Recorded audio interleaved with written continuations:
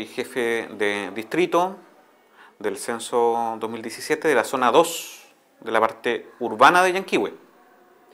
Don Haroldo, eh, ¿cómo ha sido la percepción y, la recepción después de tanta campaña eh, en las redes sociales en contra del censo? Cuéntenos un poquito cuál ha sido la experiencia eh, vista por su censista. Bueno, en cuanto a la percepción que se tiene ahora, ha sido positiva, por lo menos en esta zona, y en la comuna de Yanquihue tengo entendido, no hubo problemas en cuanto al voluntariado, voluntariado del censo. Hubo voluntarios del censo y también funcionarios públicos que participaron, eh, lo cual es positivo. ¿ya? a las 9 de la mañana, mucho del personal y también de los voluntarios eh, salieron a cumplir su deber cívico, que es el censo. Se está volviendo de cierta forma, según lo que hemos podido apreciar en la calle, el retorno del funcionario público a, hacer su, su, trabajo un poquito eh, mancomunado con la comunidad, lo cual a los más antiguos nos recuerda cómo era antes. ¿Eso eh, se ha visto de forma positiva por la población? Bueno, yo puedo hablar por el personal de mi escuela. El personal de mi escuela se hizo presente.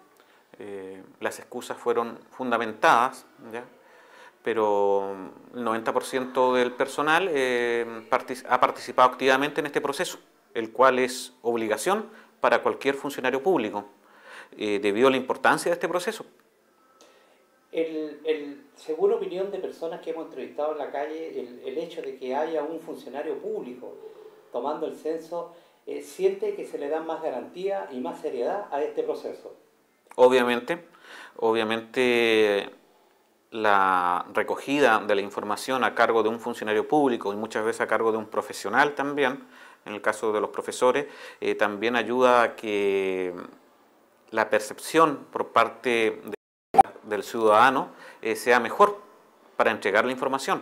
Y también eh, más, eh, más el funcionario público, debido a sus condiciones de servidor, eh, puede explicar en mejor forma las preguntas del portafolio eh, del censo.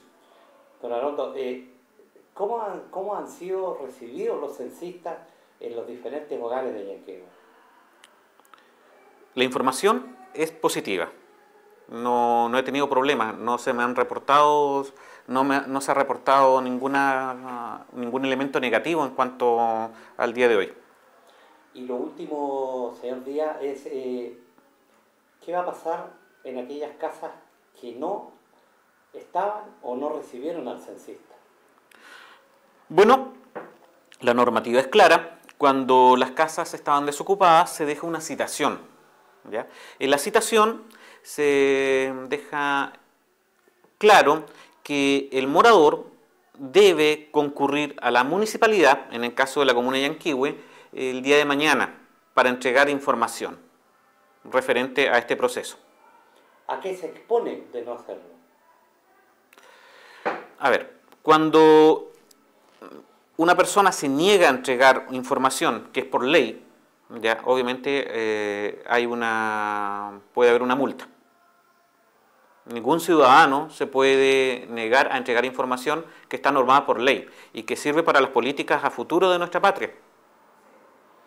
A, esta hora tenemos ya algún resultado del, del en, en, estos momentos, en estos momentos estamos recepcionando los portafolios del censo, estamos cotejando la información que esté bien ingresada, para más tarde digitar la información al sistema.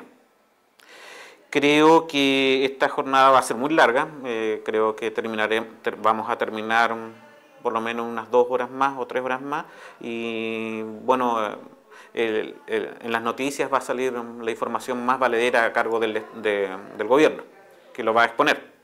Sería interesante o muy interesante para Yanquihue saber realmente cuántos habitantes somos hoy día. Es de suma importancia saber primero cuántos somos, tanto como país y como comuna. Primero, en qué condiciones estamos nosotros desde el punto de vista social, ¿ya? porque a través de esa información valedera va a llegar, se va a planificar la política de nuestro país desde el punto de vista social. Entonces es importante eso. El resumen del día de hoy, Ha sido una jornada cívica positiva para mí. El personal de mi escuela ha participado activamente. El, eh, también los voluntarios, felicito a las personas voluntarias que sin ser funcionarios públicos no estaban obligados, se presentaron y están trabajando y trabajaron en forma eficiente y entregaron la información para, para el buen desarrollo de este proceso. Le agradecemos su tiempo. Le agradezco a usted y muchas gracias.